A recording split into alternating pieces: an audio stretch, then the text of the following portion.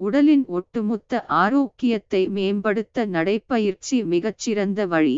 ஒரு நாளைக்கு குறைந்தது முப்பது நிமிடம் நடைப்பயிற்சி செய்வது இதய இரத்த நாளங்களை மேம்படுத்த எலும்பை வலுப்படுத்த அதிகப்படியான கொழுப்பை குறைக்க உதவுகிறது. மற்ற உடற்பயிற்சிகளை செய்யும்போது கருவிகளில் உடற்பயிற்சி உடல் தசைகளில் பாதிப்பு உள்ளிட்ட பிரச்சனைகள் ஏற்பட வாய்ப்பு உள்ளது. ஆனால் நடைப்பயிற்சியில் பாதிப்பு என்பது மிக மிக குறைவுதான். நடைப்பயிற்சி செய்வதன் பலன்களை தெரிந்து கொள்வோம். நடைப்பயிற்சி இரத்த ஓட்டத்தை சீராக்குகிறது. இதய தசைகள் மற்றும் நுரையீரலை உறுதிப்படுத்துகிறது. மாரடைப்பு பக்கவாதம் உள்ளிட்ட பாதிப்புகள் வருவதற்கான வாய்ப்பை குறைக்கிறது.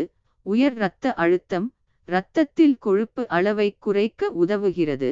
மேலும் தசைகளில் இறுக்கம் வலி உள்ளிட்டவை வராமல் காக்கிறது தசைகள் எலும்புகளை வலுப்படுத்துகிறது இதன் மூலம் நம்முடைய உடலின் பேலன்ஸ் உறுதி செய்யப்படுகிறது ஆரோக்கியமான உடல் எடையை பராமரிக்க உதவுகிறது கலோரி எரிக்கப்படுவதால் சர்க்கரை நோய் வராமல் தடுக்கிறது சர்க்கரை அளவை கட்டுப்படுத்த உதவுகிறது நடக்கும்போது நேராக நிமிர்ந்து பார்த்து நடக்க வேண்டும் கூன் போட்டு வளைந்து நெளிந்து நடக்க வேண்டாம் அதே நேரத்தில் மிகவும் விரைப்பாக நடக்க வேண்டாம்.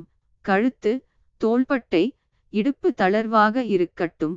கைகளை சற்று மடக்கி வைத்து முன்னும் பின்னும் நடை பயிற்சிக்கு ஏற்ப அசைத்து நடக்க வேண்டும். அவசர அவசரமாக ஓட வேண்டாம். மென்மையாக தரையில் நன்கு பாதங்கள் பதித்து நடக்க வேண்டும். எடுத்த எடுப்பில் உச்சக்கட்ட வேகத்தில் நடக்க வேண்டாம். முதல் பத்து நிமிடங்கள் உடலை நடைப்பயிற்சிக்கு பழக்கப்படுத்த மெதுவாக நடக்க வேண்டும் கொஞ்சம் கொஞ்சமாக வேகத்தை உயர்த்த வேண்டும். அதன் பிறகு கடைசி பத்து நிமிடங்கள் வேகத்தை கொஞ்சம் கொஞ்சமாக குறைத்து நிறுத்த வேண்டும். நடைப்பயிற்சி முடிந்ததும் அப்படியே வந்துவிட வேண்டாம். தசைகளுக்கு ஸ்டிரெச்சிங் பயிற்சி கொடுத்த பிறகே பயிற்சியை முடிக்க வேண்டும். சாலையில் நடப்பதை முடிந்தவரை தவிர்க்கலாம். பூங்காக்களில் நடப்பது நல்லது. சாலையில் நடக்கும்போது வாகனங்கள் வருவதற்கு எதிர் திசையில் நடப்பது நல்லது.